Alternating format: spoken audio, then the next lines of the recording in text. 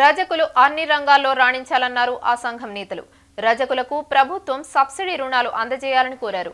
రాజన్న సిరిసిల్ల జిల్లా వేములవాడలో నిర్వహించిన కార్యక్రమంలో జిల్లా నూతన అధ్యక్షుడిగా ఎన్నికైన నాంపల్లిని ఘనంగా సన్మానించారు. ఈ సందర్భంగా సంఘం రాష్ట్ర అధ్యక్షులు అక్కారపు శ్రీనివాస్ మాట్లాడుతూ హక్కుల సాధన కోసం ఐక్య పోరాటాలు చేయాలని పిలుపునిచ్చారు. ప్రభుత్వం రజకులకు సబ్సిడీ రుణాలు అందించాలని లాండ్రీ షాపులకు ఉచిత విద్యుత్ అందించాలని కోరారు. ఈ కార్యక్రమంలో జిల్లా ప్రధాన కార్యదర్శి లింగంపల్లి దేవయ్య గౌరవ అధ్యక్షులు ఏఎంసీ చైర్మన్ గడ్డం హనుమాన్లు అర్బన్ రూరల్ మండల అధ్యక్షులు పాల్గొన్నారు. మనమంతా ఒక కులాసులం.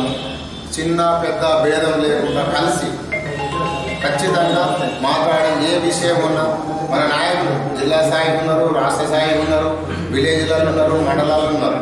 అందరం కలిసి నువ్వు నేను అనుకుంటా కలిసి ఖచ్చితంగా ప్రయాణిస్తే ప్రయాణం అనేది సక్రమంగా సాగుతుంది. దాన్ని సాగించుకుంటాము మనమందరం నేను నువ్వు మీరు అనుకుంటా అందరం కలిసి సమనీయంగా సంతోషంగా కలిసి అందరం కలిసికట్టుగా పోతే అన్ని పనులు అయితే